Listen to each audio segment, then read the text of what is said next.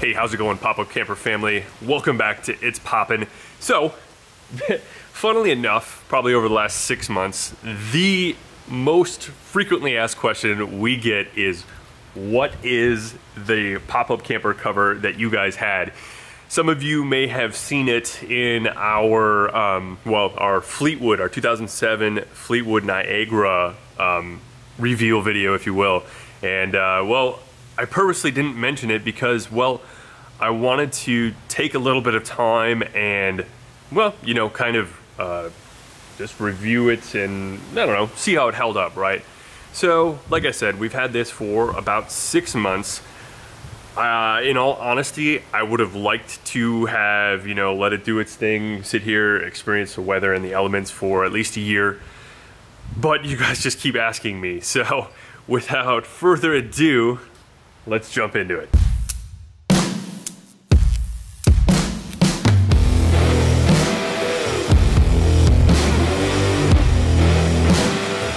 So the cover that we use is called the Gearflag pop-up camper cover and specifically the one we have um, that is actually on our 2008 Jayco Select 12HW um, is the 14 to 16 foot uh, variety or model, if you will.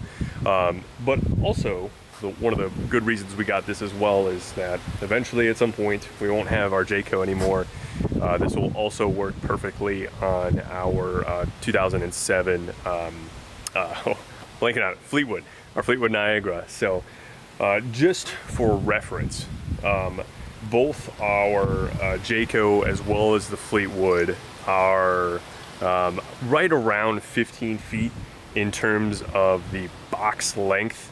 So that's why this 14 to 16 foot um, length came in, uh, you know, essentially perfect for our needs. So in the interest of not wasting any time, over the last six months, based on what we've seen, would I recommend this particular um, cover for your guys' pop-up camper? And I think the answer is yes. As of the six months, it's been through um, a lot of storms, um, even a hailstorm, as a matter of fact. Um, the only thing it really hasn't seen is snow. So it hasn't been covered with snow. It hasn't really, you know, sat for years upon years upon years and gotten exposed to a bunch of UV rays. So take this for what, what it's worth. If I had to recommend a cover, uh, just based on our six months of experience with it, um, I definitely would recommend it at this point. Uh, so we'll be sure to throw a link in the description. That way you guys can find it easily enough and just select whatever length is appropriate for you guys. Let me just show you around this thing and kind of show you how it all works.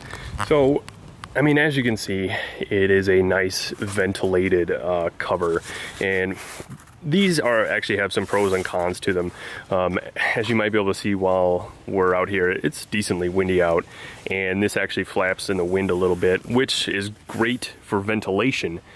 However, I will say that it's kind of a double-edged sword in the terms that if it's raining out and also windy, and it's kind of a you know a sideways rain, that might let some water in, and we have found where um, water gets on the roof or whatnot if we kind of have that sideways wind. So, like I said, a little bit of a double edged sword, kind of a pro and a con in terms of the ventilation.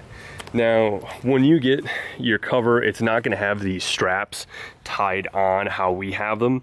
Uh, so, essentially, what we did is we put the whole cover on, and then these guys are actually, let me see if I can pop one off. They're a bendable metal, and as you can see, they kind of just go up and under the frame and hook in.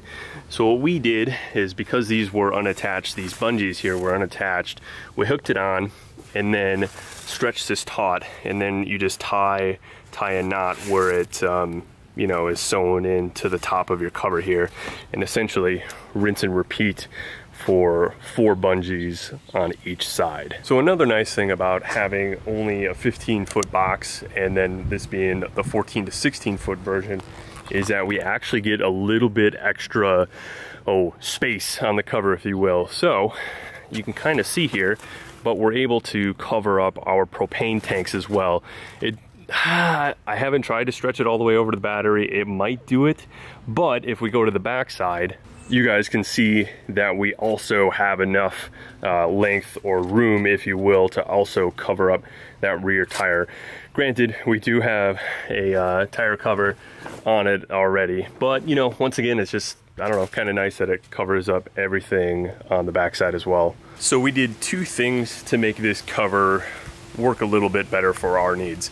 And first thing we did is because we have a roof rack, actually we have roof racks on both of our pop-ups.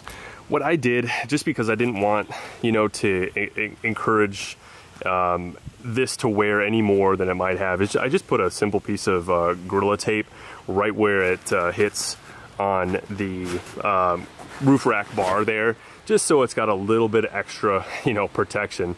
So that was the first thing we did. And of course I did that on all four corners. Um, and I actually did it also for the, the Fleetwood that's in the garage. So that's hence the different pieces of tape there. But I mean, shoot, go crazy. You can put tape wherever you want to put it. But the other thing, and this was really helpful with uh, the roof rack, as you can see here, is I just took a spare piece of lumber and put it right in the middle of our roof rack right there. And then that way, it um, encourages, or I guess I should say prevents pooling in the middle. Otherwise, without that 2x4 there, what, what we ended up seeing is that rainwater would catch in between our two um, crossbars on our roof there, which was annoying to have, you know, water just sitting on there. Then I'd have to come up and, or come out and, uh, you know, kind of toss the cover up and down a few times to get that water to not pool. So those are two things, just the duct tape and, you know, really you could put a plywood board or a two by four if you have a roof rack, just so it gets that nice slope and you don't have any uh, rainwater pooling there. So just a couple of modifications to make it that much better. All right guys, so that's the pop-up camper cover that we use. It's the Gearflag brand. We bought this with our own money. Um, I went out and read a lot of reviews on pop-up camper covers and this one seemed to be the best one. Like I said before, time will tell. Hopefully this will last, you know, a number of years and we'll get some good life out of it. Um, but just I want to jump ahead of hopefully some questions that might want might come up because these are quite a bit more expensive than just like a basic tarp, and it's perhaps not too common knowledge, but you actually want to let your pop-up camper breathe when it's in storage like this.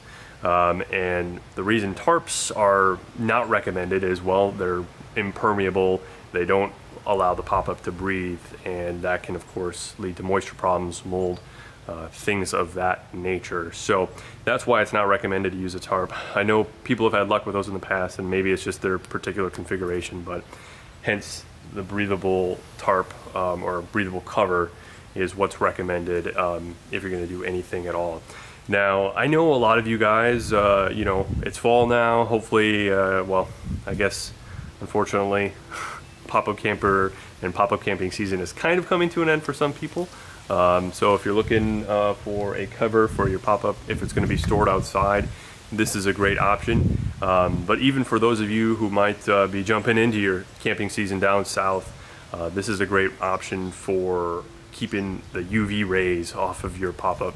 Um, in theory, uh, like I said, time will tell, but in theory, it should uh, keep, you know, like things like your caulk and your decals and maybe even if you're um, if you don't have a high wall it might cover up a little bit of the tires to keep those UV rays off of things and maybe make it last a little bit longer so with all that being said guys at this point in time highly recommend uh, this pop-up camper cover. And as always hopefully we see you in the next video. If not hopefully we see you out there camping